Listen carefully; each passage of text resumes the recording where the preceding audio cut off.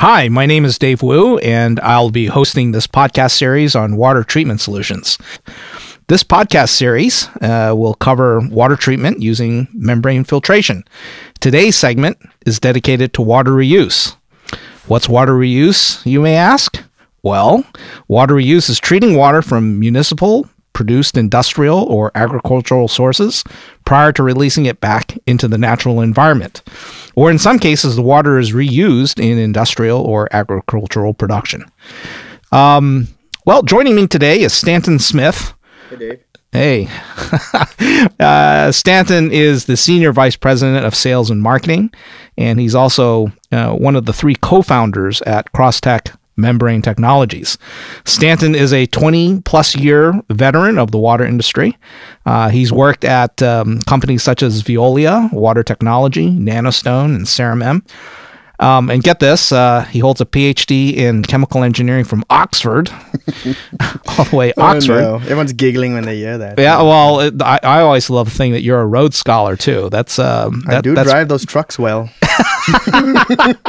road scholar. That's pretty uh, impressive. So anyway, welcome, Stanton. Thank you very much, Dave. Thanks for that. Yeah. Um, so Stan, I was wondering, uh, you know, tell me about CrossTek. Uh, you know, why did you guys? Uh, what do you guys do, and uh, why did you start CrossTek with uh, Bruce Bishop and uh, and Job? Yeah. So so I'd say this. I uh, I was the late part of the founding team. I, I joined a little later, but I always have uh, have had common ground with uh, Job and Bruce, and that we, we we really think that you know technologies should be used uh, for treating water. It's the most important thing we do is make water for drinking, for society use, for uh, protecting the environment. Ultimately, CrossTek's entire mission is doing um, uh, membranes and water. It's pretty simple. However, when you think about what's out there in the space of of companies, there are thousands of companies out there doing water treatment. What's our, our edge? What did we bring? Why was this company formed? And that real focus of our company is membrane technology, A, but also next generation, bringing it to the market. The hard stuff, the stuff that people don't want to do, quite frankly. We pick up the, the heavy lift of looking at the market needs, uh, looking at the trends as best we can. We don't have a crystal ball, but we see these trends, these trends, these needs that not for next year or the year after, but the next decade or two. What what are those trends? And we think membranes can fulfill that that need, fill that gap. So we try to be a market focused company, bringing water filtration technology that leaps the current state of the art. That's the mission. The mission is to be looking to the future and solving those problems, not just for now, but for you know, and not to be cheesy about it, but the next generation also thinking about the future of our children. Uh, CrossTek is really focused on on that. That sounds great. Um, I, I know you, you actually said a couple things that uh, piqued my interest, uh, uh, and I'm sure we'll get through them. Some of them is uh, the next generation of technology. I know that uh, you uh, and two of the other founders, Bruce Bishop and, and Job, you recently published a paper for the AMTA membrane conference. I was wondering if that's something you can talk about. yeah. What, what was the paper about, and and uh, who was the uh, customer, and uh, you know what were some of the considerations that uh, that you talked about in that paper. So this this this paper is is is I hope those who attend the show come and see this one because I like this paper in particular because it shows a few years of experience, not just design and sale and but actually real experiences, things that didn't work out as we thought, things that changed as we operated, and stuff like that. So um, uh, you know, due to confidentiality of the customer, I can say that they are a major engine manufacturer. Um, and uh, they they you probably know them. they are they have a good CSR um, policy, um, and they really want to do the right thing. Okay, so that's that's the the the, the company.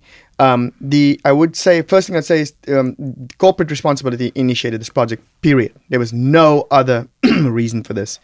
This is a company that basically had to add in multi-million dollars of equipment to do the right thing and add stuff to go with it in an environment where there's more water than they know what to do with to buy it at low cost.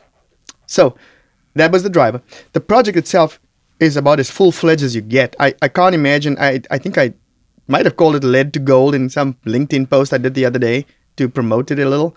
Um, but yeah, it's literally the worst water that you can possibly think of in a membrane filtration system. So the water was uh, what was the, the, they were trying to treat the water that was So a result of the manufacturing of the process. manufacturing. Yeah. So I'll tell you what the water is. This this is this is massive engine blocks being machined from you know flat steel to shaped steel, and to do that, it's real intensive spray of a combination of water and oil on the surface of the metal while the machining happens. CNC machining, we've all seen it.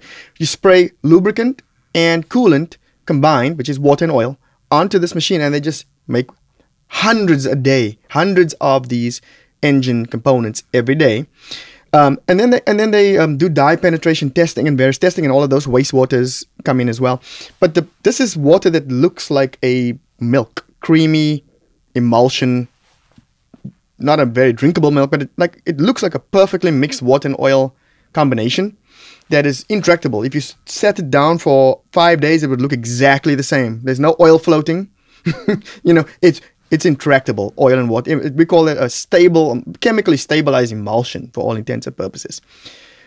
Not many membranes can treat that. So what we did was we, we put that in. So that's what. So that's basically fifty percent of the water that we treat. The other fifty percent is the two thousand or so staff members that work there, canteen activities. You know, just human human uh, waste coming in. They call that sanitary waste. I always laugh about that. The industrial guys call that sanitary waste. That tells you what their real industrial waste looks like. so we got the sort of engine block stuff, and then we got this this um, the sanitary sanitary waste and they segregate those because they need different treatments and so this particular facility takes this, this really hardcore engine oil and they came to us and said yeah, let me not take credit for everything here CrossTek is amazing yes we are but these guys always used ultrafiltration to treat that since the 70s unbelievable maybe 80s 70s 80s we walked in there and we just saw this, you know, clearly 80s technology. There was a beautiful, um, literally five foot tall by 10 foot wide control box with light switches on it, with relays switching controls. It was it was like a museum to control. But they used ultrafiltration, but they needed to do more with less space because now they were going to add in a whole lot of reuse equipment into what was just a discharge plant before. And so, yeah, CrossTek basically came in, took that uh, industrial waste, applied ceramic cross-flow membranes to treat it into a oil-free, and I should say emulsion-free solution. That was then ready to go to biological treatment. So it goes from there to biological treatment to consume the. Remember, the ceramic ultrafiltration removes particles and oil.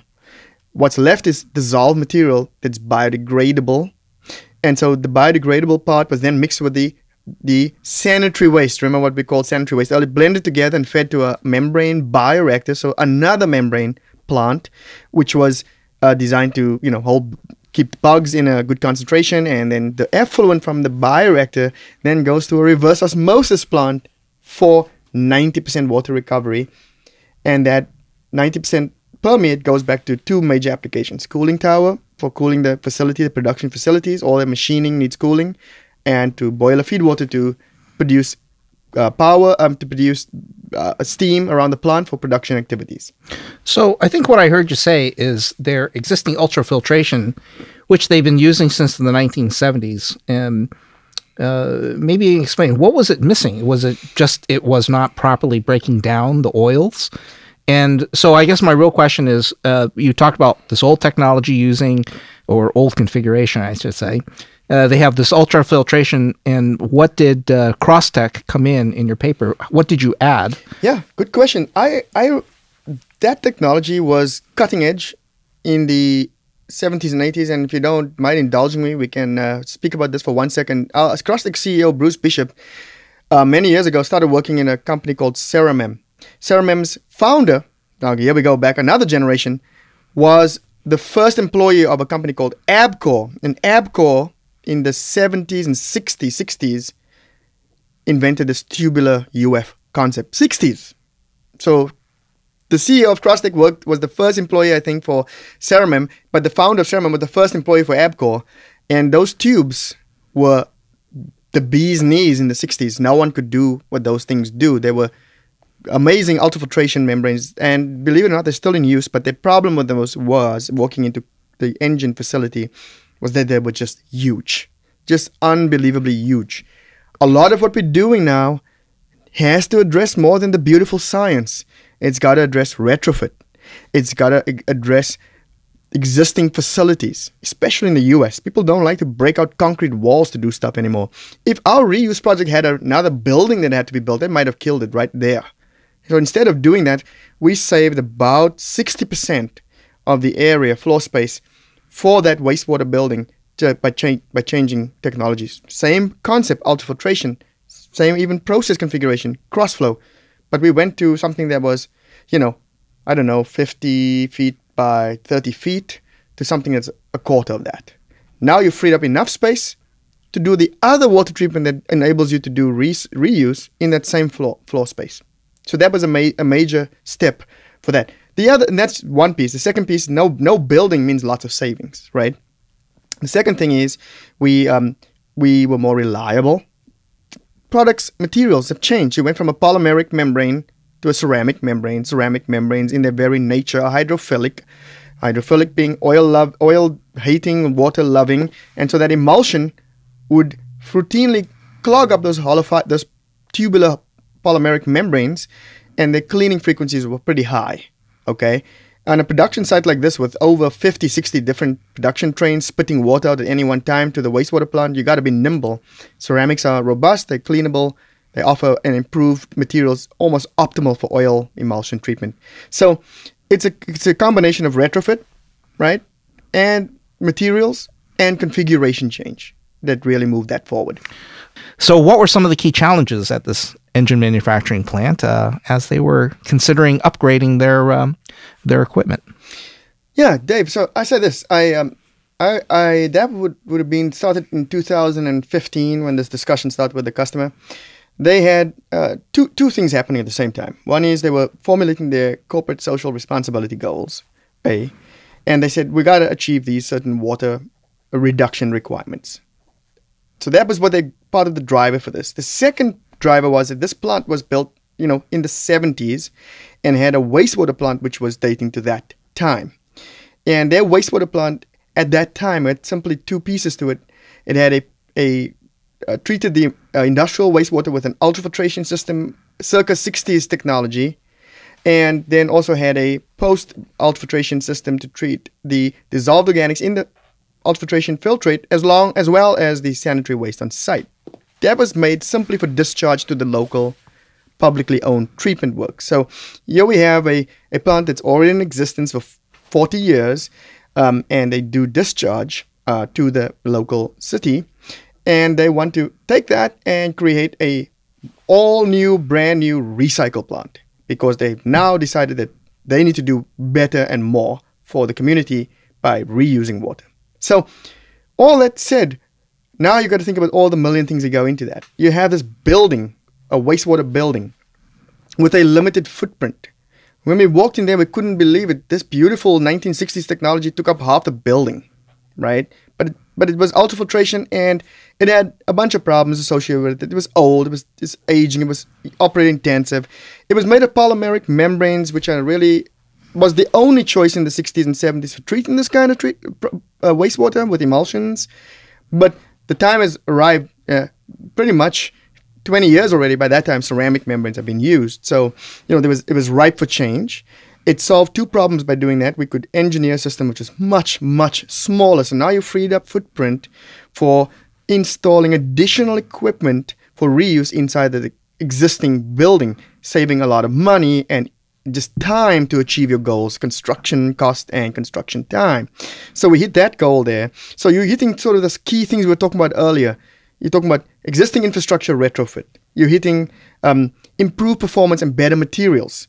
You're hitting sort of operator intensity you know, reduction. So you, you get you kind of look at those goals and they come right out when you when you apply the right technologies. I should state that the incumbent membrane product was still a strong company and still in existence. And they were part of the evaluation. So, what was in their favor? They've done it for 30 years with that thing. They know the enemy they're facing. The new technology to them was new, ceramic membranes, had to be proven. So you Yeah. mentioned uh, several things. Um, uh, one was uh, the existing footprint. It's not like they're going to build a new building or expand things. So big advantage to fit into the existing space. Yeah. Um, but in that existing space, the new technologies, uh, from what you're telling me, uh, smaller footprint allowed you to add in uh, new configurations, which made the whole system uh, much more um, efficient. Um, right. And uh, materials uh, can what, Underpinnings of success of this project was the ceramic material. ceramics. Yeah. So it was all about ceramics against polymeric, and That's I assume that's actually That's a theme in our day-to-day living in CrossTek, right? and is that is, is that what's going to be presented in the paper? You're going to be Yes, discussing correct. those. We're going to be discussing those, and I'm pretty sure that there'll be lots of questions because that is the dilemma or the tr- question of the day. So here's the funny thing: everyone loves ceramics when they hear the technical aspects, right? I remember presenting ceramic membrane solutions in the early 2000s to people saying, "This is perfect. Look at the performance. We got an installation somewhere," and they just look at me and they go, "Well, what's the price?" Because back then, they were so expensive. They had nothing in their favor. No scale, no adoption, no, no, you know, no real um, broad-based supply chain. And now it's different. We got volume on many of these supply chains. We got better pricing. They were never questioned technically. They were just like, "Mm, oh well, we might as well make it out of gold then. So, the prices come down. The prices come down. and, and that's in, in in a way you're saying that's why now is the time. It's the time. It's the time because and I think people will see the value is right. This particular project was nice indication on that front end on the UF portion because it was UF to UF. I felt it was an unfair valuation because they didn't give us the building savings. True. But they just did, they said, well, you know, let's just get merit to merit. They called it. I'm like, wait a minute, we saved you a building. Anyway, it was still. Um, so what happened was the ceramic member was capital capital twenty percent more capital, and but the life cycle saving over twenty years was thirty percent, including the high capital, and the operational um, you know, intensity was a fraction.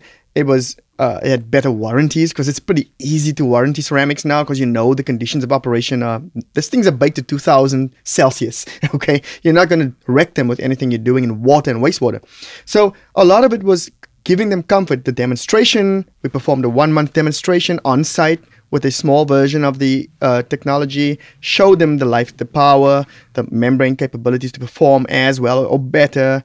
So a lot of that demonstration occurred in, in on site. A lot of it was to give the site comfort because it's hard to turn away from something you've done for 20 to 30 years. And so we understood that and we did that. And no matter what people say, you never make money on demonstrations and testing. You lose money, but it's worth it in this case because we've earned a customer for life and, and we are building similar facilities at their other similar technology into their other facilities as well. So what you're saying is uh, a lot of these results were or are currently quantifiable. Absolutely. And um, you also talked about the um, the pilot that was run for about a month, but also uh, how long has it been in operation for? Yeah, so we and I, I was I- went just after startup because um, I'm trying to think. So it's been in operation about three years now, if not more, um, and running full time. This is one of those that that that there's no other options when you have emulsion. You gotta run. There's no like oh just put it into a bucket. This project is fantastic in that we are doing two things. We have concentrated that oil emulsion. We don't disappear the oil to something. You know, we concentrate to a volume that's so small and so concentrated that someone can put into a burner so you know 20, th- 20 to 30,000 gallons a day of water being uh, turned into something like 3,000 gallons a week of concentrated oil um, and it just gets removed as a small weekly dump and someone just puts it in a burner it's that concentrated so, Yep. so it's kind of an interesting way of, of getting rid of uh, of oil um, so yeah. uh, you know, so from the results, uh, one month pilot. Uh, Yeah. Uh, then it's been deployed uh, in production in operation right. for the last three years. yeah Um, so I assume uh, the customer is uh, is happy. customers happy. We are getting the second project undergoing with them. Um, the I credit to the facilities engineer that site who you know said I want to do this. It's different. It's easy for him to say I'll just do what everyone else has done before. So he, he's a wonderful um, an ambassador for. Uh, a person whose main life, his main focus in life is not water, but looked at it and said, "I think I want to do things better." So there's definitely credit there to the end user. Um, he's not a fast follower, but an early adopter. It's very Okay. very important. And then we have the um, the performance of the system has been extremely, um, let's say, satisfying. It's it's performed no, there's bumps in the road. Believe me, we lost one cross flow pump. There's two cross flow pumps, and there was this operational challenge, and we got this call saying this thing is not performing well. There's always those moments. We go out there, we solve the problem, it comes back on we do some deep cleaning for a couple days. We do some pump management, put some more sensors on to make sure when this happens again, it doesn't doesn't cause a problem. So, but, but this is the real bumps and knocks of a, of a reuse plant. But as far as it goes, that's about the worst thing that happened, and it's running for three years. I'm pretty happy with it. Okay. Membranes are still in place, the exact same membranes. So it's running for way. three years. Uh, you've got repeat business. It's all quantifiable. The numbers are there. Uh, yeah. These are all things that um, you're presenting in the paper at AMTA. That's right. That's well, right. Uh, that's uh, pretty awesome. And so, um, uh, actually, what I'd like to do is conclude this podcast and thank you for all of your insights. Uh, of course, uh, what we are really would like uh, people who are listening to this, we invite you to listen in to uh, some of the presentations uh, that the CrossTek team is doing. Uh, this yeah. is actually one of them. Uh, this, yeah, case study. This case study is uh, on yeah, on and it will expand to the reuse portion as well. Uh, I was focusing on the fantastic you know front end of the process, but there's there's this sort of bioreactor and this ninety percent RO. Considering, like I said, lead to gold, the nastiest water can ever imagine, becoming boiler feed water, which is kind of the highest quality of water you can feed into any equipment. So it's a lead to gold story, and it's it's pretty fascinating because there's actually years of data to share and you can ask the presenter. Please ask the presenter, our CEO, who is actually presenting a paper because he, he was really instrumental in getting this up and running in the early stages. He's from that part of New York. He wanted to definitely have a, oh, that's right, something He's you know, do something for right. for where he came from. Um, and uh, so he was definitely on site as part of this. He was very excited um, about it to be in like 20 minutes from his home, uh, hometown where he grew up. And of course, he's a Red Sox fan now. I don't know if it's allowed back. Um, but but I think there's two other there's two other presentations from CrossTek. So we have three podium presentations. We're proud of it. We we we and they're all exciting, new stuff. That's what that's what we do, and we do and we have a poster as well. And I'm having the privilege of presenting a roundtable on ceramic membranes. So if you want to pick my brain about ceramic membranes, it's not much there, but come bring bring your own bring your own stuff to share, please, and I'll be happy to to lead that session. It's uh, it's also part of the show. All right. Right. Well, thank you very much, Stanton, and um, uh, we will uh, look forward to uh, seeing uh, people at the presentations that we have, and uh, please stay tuned for our future podcasts. Well, thanks, Dave. You, you, you, did a great job in this, extracting useful information from me. That's unusual and difficult. thanks, Dan. Thank you.